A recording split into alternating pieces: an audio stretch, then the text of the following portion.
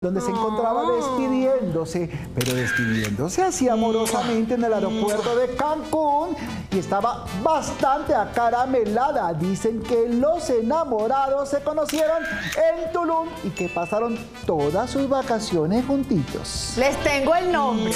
Les tengo el nombre.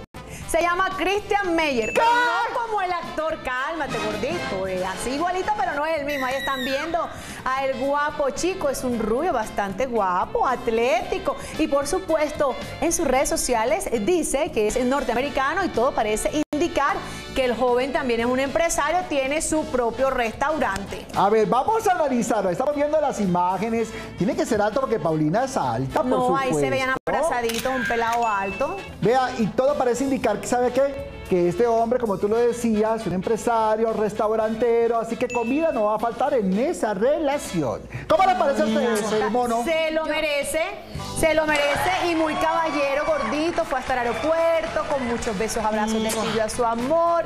Me encanta que Paulina esté enamorada, feliz, se lo merece. Llevaba un tiempito largo soltera nuestra Pau.